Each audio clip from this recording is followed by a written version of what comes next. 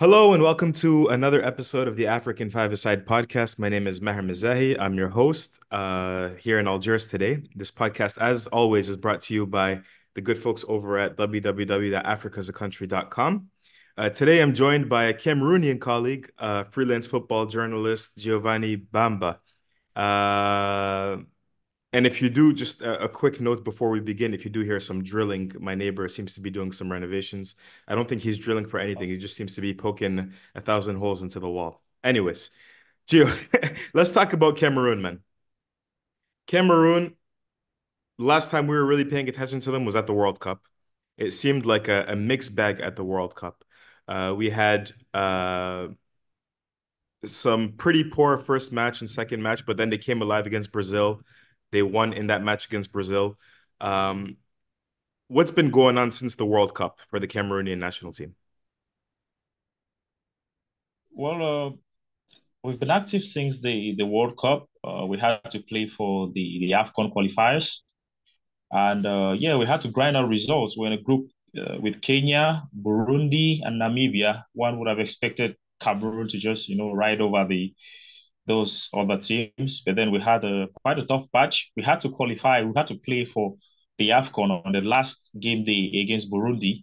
And through that, we got a convincing 3 0 victory over Burundi. So, but then it was really, you know, tricky group for Cameroon and Cameroonians as a whole because we didn't expect to be taken right up to the final day against against Burundi, and it was just on, on panic panic mood if you ask most uh, journalists and of course fans that that watched that game because the win for Burundi would have not completely turned the, the, the, table on its head. Namibia had already sailed through after their good performance against Cameroon here in, in Cameroon in Yaoundé, a draw, and then a win over there in uh, in South Africa. So it, it was really a tricky one, but you know, thankfully the Indomitable Lions got through and uh, yeah, we're just looking at the the AFCON, like Rigobert Song's second major tournament after the World Cup. It's true that the, the president of the Cameroonian Football Federation, Samuel Eto'o, did say that he wanted to play seven games at the level of the World Cup, which entails playing the finals. But then, you know, uh, we didn't we didn't make it past the group stage. But then we had a, a good showing. It wasn't an embarrassment like what happened in 2014 uh, 2010 in, in, in South Africa. It wasn't a complete embarrassment. won a game against uh, Brazil, had a parity against against Serbia. Uh, then we lost against against Switzerland. So I do think that uh, we're going to judge Rigobert Song from now hence because then he just took the team like four months before the World Cup. So he he was always saying in his pressers that he really needed time to work with the team and see what he could bring in. So now it's the AFCON. He's been in the in the dugout for close to a year now or more. So uh, we're going to judge him and, and see how he, he performs in this second major tournament he's taking over. Because the AFCON and Cameroon, I think Cameroon played really well. I mean, they were probably one of the maybe the strongest side in terms of performances. Um, that attacking line of you know Abubakar and Karl Toko Ekambi and uh, Moumi Ngamaleu as well. I think they combined very very well. Um, Bryan Mbeumo for me, you know, started the season really, really hot. Unfortunately, he's going to miss this tournament with injury. How big of a loss is that? And are there any other losses or additions that you see that have come into the side or are leaving the side that will be impacting Cameroon at the upcoming AFCON? I think Bryan Mbeumo could be the difference between Cameroon having a good and a bad AFCON. That's how good for, for club and country. It's not just for, for country, because even at the level of Brentford, they've been having a, a queue of bad performances. He and Ivan Toney now missing in the team. With the Indomitable Lions, he was just beginning to pick steam, yeah? He was just beginning to pick steam with the Indomitable Lions. He scored in the World Cup qualifiers against Mauritius. He scored uh, against against Mexico in in the, in, in the friendly that we, we had last time out in the US. He equally scored against against Burundi. Uh, so he was just beginning to pick steam and lining up a couple of good performances when we needed him to do so. And um, it's just bad news that you know he's missing out of, of, of the list due to to injury. He himself would have loved to give a good account of himself, given the fact that he didn't have a, a proper World Cup as well with the Indomitable Lions. So I do think that he's going to be a big, big miss uh, Bryan Mbeumo and uh, yeah, a couple of others as well. Right, Maxime Choupo-Moting wasn't called up for, for the coach said for, for reasons best known to him. He decided to do with youth. And uh, yeah, I think Eric Maxim Choupo-Moting, he too would have had, you know, an impact. He he's aging, but he's aging like fine wine. I mean, he's not had as much as much game time at Bayern because of Harry Kane, who just came in. Uh, you know, he's doing his thing. Uh, so I do think that probably Eric Maxim Choupo-Moting is one you never can take your eyes off. Martin Hongla as well. He was the lead assist provider at the 2006 AFCON 2021 in Cameroon alongside Fai Collins. They both had three assists to their names. He too has been missing out of, of the puzzle. So I think that he too would have, you know, had a word or two to, to say. Uh, there's Pierre Kunde Malong as well. Uh, he too is not going to be taking part in the in the AFCON, you know, after playing the, the, the 2019 edition, the 2021 edition, massive experience he would have brought to the middle of the park. But then, like I said earlier on, Rigobert Song has decided to do with youth. And uh, yeah, we're going to, you know, assess how that goes after the tournament. But Cameroon is uh, an unforgiving nation. If it goes badly, then he will take some stick. To be, I, I believe he will take some stick, and good measure for that because it's left out quite a good number of experienced players we are used to. So let's see how that one pans out. So, so let's talk about Rigobert Song. Um, because he was in charge of the Olympic team, right? Prior to him coming to the senior team. Uh, yeah. From what I understand, the results were mixed. What was the logic mm. from firing, you know, Conceição, who had a good AFCON, and bringing in uh, Rigobert Song? Well, why, number one? And number two, uh, what was the reaction from from the public when Eto'o named Song as the coach? And has he lived up to expectations so far? I know it's only been a year, but so far, how has it been? It's only been a year of a mediocre performance from Rigobert Song. And like you quite rightly said, he was in charge of the Olympic team, the under 23s. Before that, he was in charge of the CHAN side, uh, the, the A Primas, they are called this way, the Intermediate Lions. And he didn't make it out of the group stage. In the 2018, uh, Shanda was played in Morocco. In charge of the, the under 23s team uh, at the AFCON as well in Egypt. He didn't make it in 2019, I think. He didn't make it out of the group stage with that selection. So it was um, kind of a surprise when he was named national team coach at the time, you know, because make no mistake about it, Rigobert Song Bahanag is a legend in our country, on the African continent, and in the world stage. But the time he got the job I think he would have, you know, done more, maybe locally take up a team or on the African continent. But it came out, it, it came up as a surprise, a huge surprise to me. Uh, I respect uh, Rigobert Song Bahanag, but uh, as a coach, I think he still needed to learn quite a lot before taking charge of the Indomitable Lions. I mean, this is one of Africa's best side, five-time Af- AFCON winners. Only Egypt sits ahead of Cameroon at the level of the continent if we're looking at it that way, calculating trophies and so on.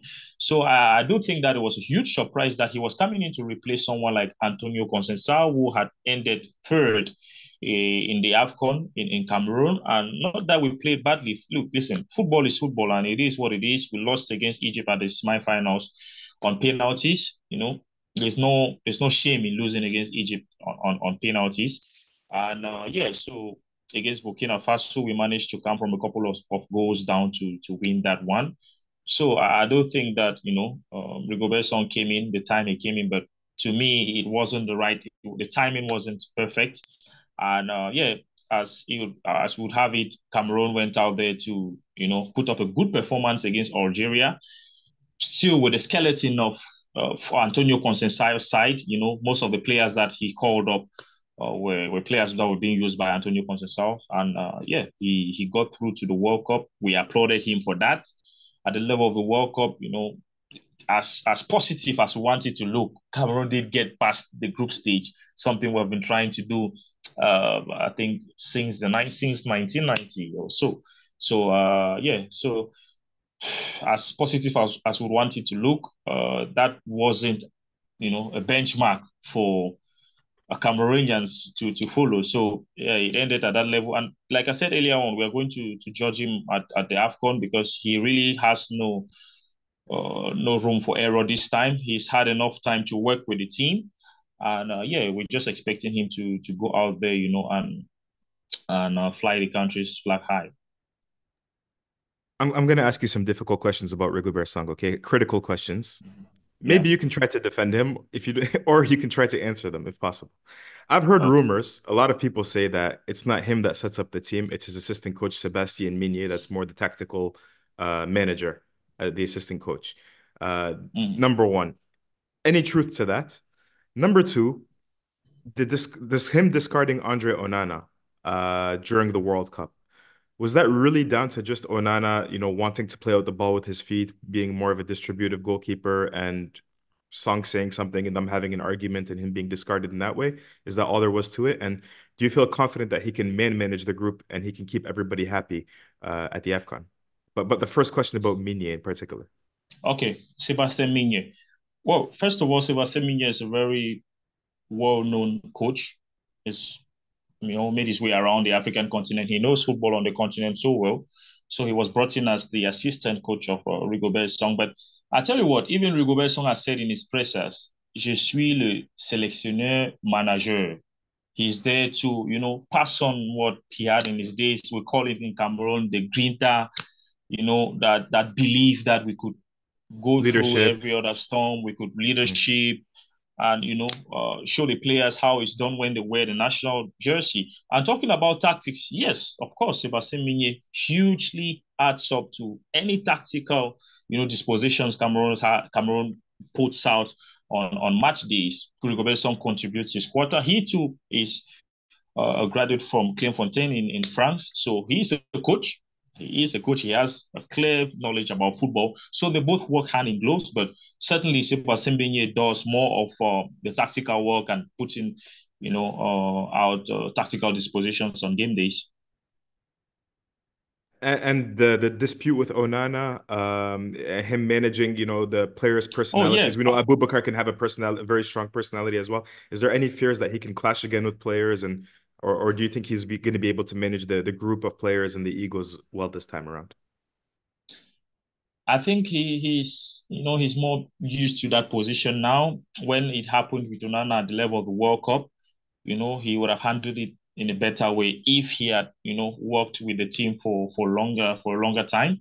But uh, it wasn't handled in the best possible way per me because uh, what that did to the player, you know, he retired internationally before the state had to get involved, and now he's coming back from retirement. And we're getting talks of okay, all these talks of Onana wants to, you know, play another game in the EPL, uh, probably against Tottenham before coming for the AFCON. This, you know, it's all subplot to what happened in Qatar because Onana retired from the national team when Manchester United were going into purchase this goalkeeper, they knew that he was done and dusted with his national team career. So now it puts them, the player and the team in a difficult situation because the state had to come and Onana came out from international retirement. Had it been United went in for Onana when he was still, you know, actively donning the national team jersey, to know that okay, at the AFCON period we're going to lose the goalkeeper. Now it puts us all in a difficult you know situation because the all all parties have to negotiate and see the best possible solution. And the way things are going, probably Onana might miss our first game. All these is they're just subplots to what you know happened in Qatar that is coming back to haunt us. So I don't think that he would have handled the Onana saga in, in a better way had it been, you know, he was uh, this long into the job. But now I don't think we're going to be having any such situations. First of all, you spoke of Vincent Abubakar. He is uh, outspoken. But there's one thing about Abubakar, he's very respectful and uh, he's a good leader as well. But you cannot keep his mouth shut. You know, when he thinks that this is not correct, he's just going to point it out. And uh, yeah, so that's that's it pretty much. Okay, let's uh let's talk about the starting eleven for Cameroon. Um, at the Afcon, you guys were playing the four through three mostly. Um, yeah. Do you expect to continue to play in that formation? Uh, now that Mbeumo is out, who's going to replace him on the right wing? If you could just take us through from goalkeeper to striker, and maybe just a small sentence after each player that you name, so you can tell us a, a small description about who they are and their strengths and their weaknesses. Yeah, uh, I think at the goalkeeping compartment we have four goalkeepers. That includes uh, Andre Onana, Fabrice Ondoa, winner of the 2017 AFCON. I'm sure you know him pretty well. And uh, Onana's cousin, yeah yeah, Onana's cousin. They, there's Ngapa Ndembu as well, uh, Marseille prodigy. And uh, equally, there's Devis Epassy, the guy who played the two other games when, when Onana was uh, was out of camp in the World Small interruption. I saw internet rumors that Epassy was a nephew of a sports minister. Is that true, or is that just internet rumors? Or you know, you always see those. You'd always see those rumors, but the has um, he's linked up with with the sports minister. He has okay. a, a, family link with him, but you know, it's not due to that that he's being yeah. He's still a good goalkeeper. Maybe it's the yeah. party. Yeah, yeah, he, he's, he's a good enough goalkeeper. Maybe he's not had enough game time with Abha in the Saudi Pro League, but whenever we've put him out there, you know, he's defended the colors bravely of the of the Lions. So I think on a good day, on any other day, if Onana is fit and he's been training with the team, uh, not arriving a day before the game or the day on the game, he's going to pretty much start. But uh, in the absence of Onana, then we might just go for Fabrice Ondoa-Bogo, uh, who, by the way, played the last two games of the Indomitable Lions at, at level of the World Cup uh, qualifiers, 2026 World Cup qualifiers. He played against uh, Libya. Uh, he came on as a sub against uh, against Mauritius. So that's that at, at that level. And at the level of uh, the, the center half, we have uh, Harold Moukoudi. Harold Moukoudi played the, the 2021 uh, AFCON year in Cameroon. Remember that he missed a penalty against uh, Egypt and he was gone for a long, long time before just coming back, you know, against against Burundi. And equally, we have Jean-Charles Castelletto, who has been one of the more frequently used defenders, center halves, uh, with uh, with our national team. There's Oumar Gonzalez as well. He, he's now in the Saudi Pro League, very aggressive defender. Uh, he too plays in the center half position, but on a on a day that you know they want to tweak tactically or something like that, Jean-Charles Castelletto has been used as right back by Rigobert Song before, I think on one or two occasions. So he too could fill up in the right back position. But then out and out right backs in the squad, there's uh, Junior Tchamadeu. He plays with Stoke City in the championship in England. Uh, equally, he will not provide the best going forward, but then defensively he's solid that's because uh, in the right back position we we lost someone like Fai Collins Goran, like I mentioned earlier on, he was lead assist provider. Yeah, he made a long time without having a club. He just got a club in Serbia, but before the Afcon, you know, he didn't have a club. So probably the most reason why the most reason that can be pointed out as why he didn't make this this this team because he played in the 2017 AFCON, 2019 AFCON, 2021 AFCON.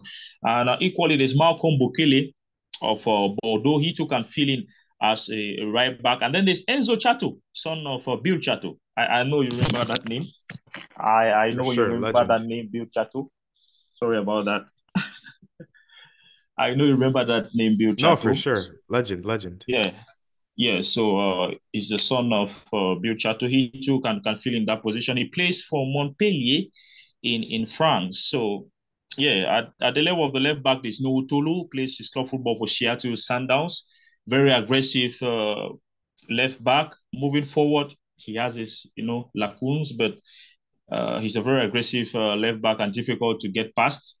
And um, equally in that in that left back position, uh, there is this uh, young gentleman out, out, out.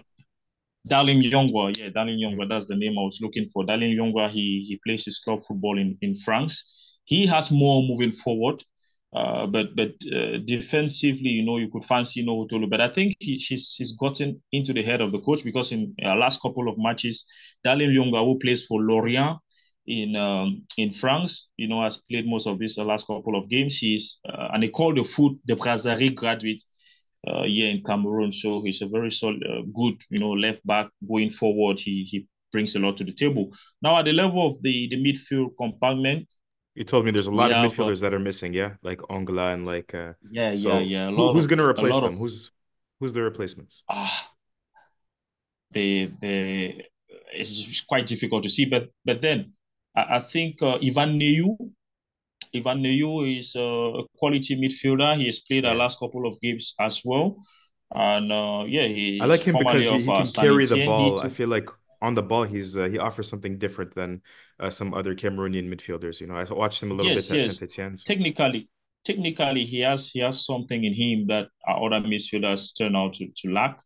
You know, on on a on a good day, he's a very good good midfielder. He uh, is one who has not really had you know a time that he has solidified himself in the team, but this time around he played you know our last two games in our World Cup qualifiers and I think it was enough to take him to the AFCON. And at the Afcon, I do think that he he will do enough. He will do enough to earn his his, his spot as, as a starter in in that team. And um, yeah, there's a newcomer, Nathan Douala. He plays his club football here in Cameroon for Victoria United. I don't think he's going to uh, be starting any games, but uh, he was just taking there probably for the experience. And uh, there's Andre Frank Zambo Anguissa, a, a, name. He made the, the fifth pro squad in uh, the, the last CAF Award 2023 CAF Awards. He made he made the FIFPro, pro squad, one of two Cameroonians to make that squad. I think he and uh, Andre Onana did. So uh, there'll be a great balance about those two, starting starting with them. Uh, equally at, at the midfield uh, compartment, who else, who else, who else is going to be starting at the midfield? Uh, because there is uh, there's Olivier Ntcham, there's, Benjamin there's Elliott as well. Yeah, yeah, yeah. yeah. yeah. Olivier Ntcham is uh, one who has had his injury problems. Yeah, but he he's good enough. He can he can start games and offer something different. Uh, there's equally Elliot Junge who plays in the third tier in France. I don't think uh, he can really pull out the rabbit out of the hat as well, you know. Uh, but then he was brought, he was uh, ferried to the tournament for probably to, for to, to get experience. And uh, yeah, like you mentioned, Cham probably maybe Cham, Ivan Neyu, uh, Zambo Anguissa. If we're looking at it from that perspective in the in the middle. And then the on the front line, is there any chance that it's not Ekambi Abubakar and then who's going to replace Mbeumo? Or is Ekambi not even guaranteed to start and no Boubacar? I think Ekambi is guaranteed to start. He, amongst the uh, players, our national team players, he has the best goal per game ratio since making his debut in 2015, I think. So uh, when he wears the national team, he's a different animal, but he's not scored in the last couple of games. But take nothing away from him at the last AFCON year in Cameroon, he was second in our goal scoring chart with five goals. Abubakar had eight goals. So I think uh, Toko Ekambi Karl, who plays club football for Abha, he was transferred from the French league to Saudi. I think he, he has enough to, to start our games. Equally, uh, you mentioned Vincent Pati Abubakar. And uh, yeah, it's difficult to see beyond Abubakar in a national team jersey. But Here's a fun fact, Yemahe. Vincent Abubakar has not been a certain starter for our team for the AFCONs that were played out of Cameroon. In Cameroon, he was a starter. But remember, in uh, 2019, he was injured. Remember that in uh, 2017, Hugo Broos used him as a sub. Mm. Then he scored in so, the final. Uh, he came up big. He scored in the finals. He came off he came off the bench to score in the finals. So it, it'll be interesting to see how he performs out of the country, especially now that all eyes on him and he might be be, starting the game. And uh, now, since Francois Regis Mughe wasn't able to come for personal reasons, he has been replaced by Moumi Ngamaleu. Moumi Ngamaleu is a very good player. He plays his mm. club football in Russia. He mm. was part of the World Cup expedition as well. And he plays like he has three lungs. Very energetic. He bombs up and down the, the channels. And I was kind of worried why he was left out in the first place. And then we just had to bring him in because, you know, uh, it didn't make any sense to me why Regis Mughe be the AFCON and he left out. But then Regis Mughe, as would have it, uh, decided to to stay back at, at Marseille. And then uh, Moumi Ngamaleu made the list. So I think he's just going to bump, bump in, in there. But then there is Nkoudou, who, you know, is our most informed player. And it will be criminal too for Coach Rigobert Song to leave Nkoudou aside. So it's not really certain Oh, but I think certainly Nkoudou would be a starter on the wings. You know, uh, the, the, the other side you might have uh, Abu, uh, might have uh, Karl Toko Ekambi and Moumi Ngamaleu lead out.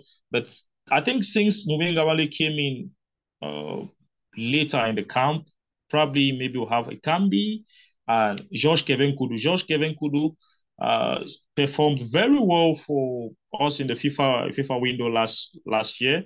he scored one of uh, three goals against Mauritius coming off the bench. And when he went for, back to his club side, he's been scoring goals for fun. I think he's the second behind Cristiano Ronaldo in the Saudi Pro League. 14 goals. 14 goals to, in 18 matches. Yeah. 14 impressive. goals in, in, in 18 matches to his name. Uh, so, Georges Kevin Nkoudou, uh, former French youth international, could be uh, could be uh, would be will be a starter. And let, let me take you back to the midfield. The names are just popping up now.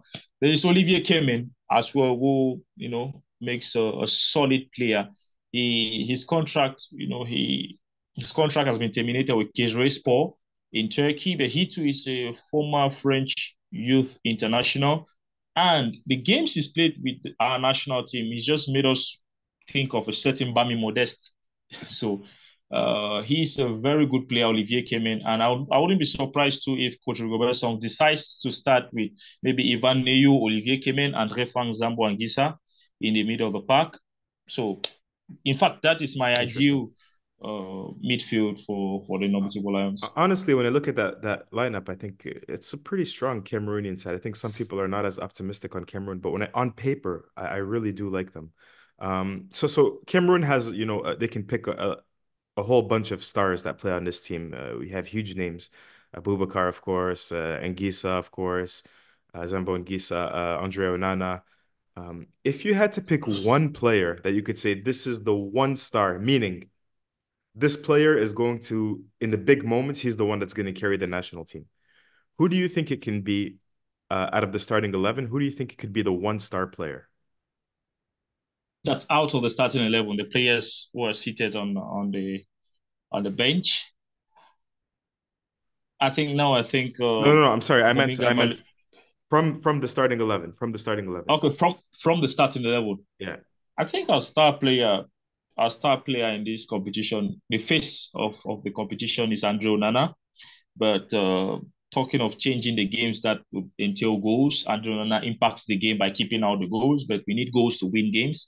I think that will be Vincent Partey Abubakar uh, for the sole reason that he, you know, uh, is a lethal uh, goal scorer with the side. Last co- last competition, he, he scored eight goals uh, in the last uh, AFCON competition that was hosted in Cameroon. Uh, he's the one that, you know, all of the other players are looking up to, you know, when things are not, when things are tricky, they're not going uh, his way, we tend to be in difficulties. So I think Vincent Partey Abubakar is a player, a star player for, for the for the tournament, and equally, probably a surprise package of the tournament would be. George that was Kevin my next Nkoudou. question. Who's going to be one player that's like unknown or not very well known, maybe underrated, that you think can explode uh, for for Cameroon? Somebody that the whole continent is going to say, "Wow, like where where did he come from?" I think I think George Kevin Nkoudou is is the player that uh, others will be surprised with because he's blessed with natural ability. He's played for Tottenham Hotspur. He's played for Olympique Lyonnais. He's played for, for. So you don't play for those clubs without, you know, having enough quality. And uh, yeah, he's blessed with pace. He's, he's blessed with trickery, God-given talent, ability.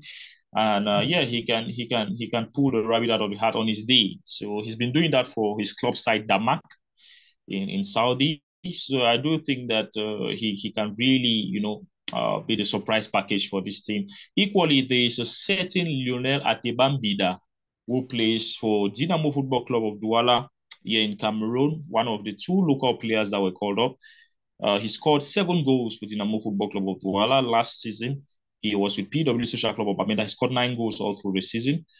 Uh, he too is a very potent goal scorer, and he has more to his game. His hold up play is uh, brilliant. His you know uh, his pace as well. You know, is his will to always get in there and get in between the goals. So I don't think that if Rigobert Song gives him the chance, then we might see another star in in in uh, Lionel. He ended, by the way, he ended third in the Ballon d'Or Awards here in Cameroon uh, back in December, organized by the Cameroon Football Federation. So he too is an interested player. And we're running out of time here. We just have three or four minutes left. But uh, Giovanni, before I go, and I, before I ask you for your prediction, which is going to be my final question, uh, when I was in Cameroon for the AFCON last time around, I remember some criticism of Andre Frank Zambo Anguissa because I felt like the public we're expecting more from him. And this was like something that was a discourse that was happening throughout the tournament. We know that he had a, a fantastic year with Napoli last season, and he was one of the main, you know, contributors to them winning the Scudetto alongside uh, his Nigerian colleague Victor Osimhen. Um, has he gotten over that with the Cameroonian public? Do they still expect more from him, or uh, is there still a little bit of frustration with uh, Zambo Anguissa um, in his position in midfield? Well, Maher, you're going to get that a lot in Cameroon. You're going to get a lot of stick, especially if uh, they're looking up to you. But Zambo Anguissa has always said that he's playing for the national team and he plays as per what the coach expects him to, you know, play. Uh, he's playing under Coach Rigobert Song Bahanag. Last time out, he was playing under Antonio Conceição. His last game in uh, Cameroon against Mauritius in the World Cup qualifiers before uh, the other game in Libya, he was very, very well lauded by the fans. He even had a standing ovation. In that game, he was a skipper of the team. So he has a, a, little different role with the, with our national team. And uh, yeah, they expect him to to be more, you know, um, box to box midfielder, if I may put it that way. But defensively, they they expect a lot from him. While at, at Napoli, you know, there's Lobotka who can do the job defensively. Uh, at times he can bump up the top and uh, get in between the goals as well. But the national team, the way we set up, you know, if he, he plays, there are a couple of players that if he plays with, then our fans would be more impressed. For instance, uh, if he plays with Yvan Neyou and Olivier Kemen, Olivier Kemen could do the, you know, the dirties, go out there and, and get the, the ball and then feed him with. But uh, if he's playing with uh, probably Elliot Junge, for instance, and uh, maybe Yvan Neyou, he is expected to do the defensive duty, you know, and, and then dish out the ball. So uh, fans have not really come to terms of how he's being utilized in our national team, and that's the reason why he's getting a lot of stick. In fact, every other person gets stick in, in Cameroon. The only other player I've not heard, you know, fans go after in a very vicious way is Vincent Aboubakar. He's a really nice guy, you know, nice to them, very quiet life.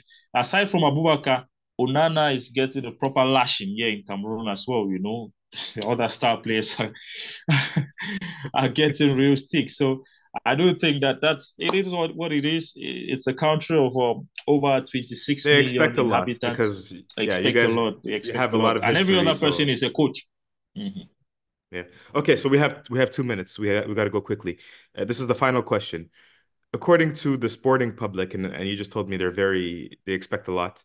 What would be a good tournament for the Cameroon uh, Indomitable Lions in Cote d'Ivoire? Would would, for example, a semifinal be a good tournament? Would a final, would winning it be the only thing that constitutes a good tournament? And what would be a bad tournament too? I think a good tournament for Cameroon at any category will be winning the tournament at the AFCON, maybe at the World Cup, getting to the semifinals or final will no, be. No, no, no. I'm just talking about AFCON.